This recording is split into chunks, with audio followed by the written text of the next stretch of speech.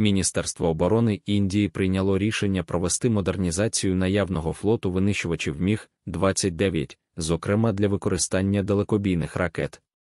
Цю інформацію розповсюджує видання Джейнс. Рішення про модернізацію було ухвалено у зв'язку з посиленням повітряних сил Китаю, яке супроводжується введенням в обіг нових винищувачів J-16 і J-20 та їх розміщенням на прикордонних територіях. Процес модернізації літаків Міг-29 УПЖ передбачає встановлення нового цифрового інтерфейсу, оновлення кріплень та систем електроживлення, а також створення нових пускових пристроїв. Планується, що ця процедура займе 12 місяців після підписання контракту на придбання пускових пристроїв. Вирішальне значення має інтеграція ракет повітря-Земля для повного використання потенціалу винищувачів Міг-29, що відзначено в документах Міністерства оборони Індії.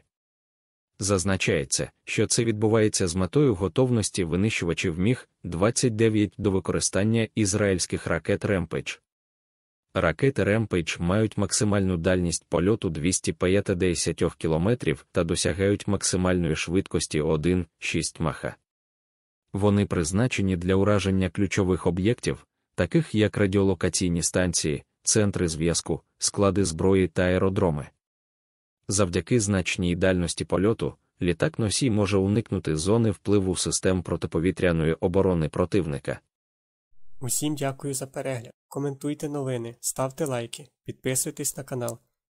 Підтримуйте канал фінансово. Деталі в описі до відео. Все буде Україна!